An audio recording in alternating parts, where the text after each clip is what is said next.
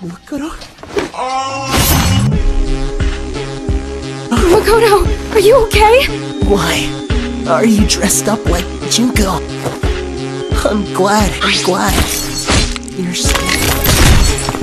Makoto. No, this is all wrong. No, no,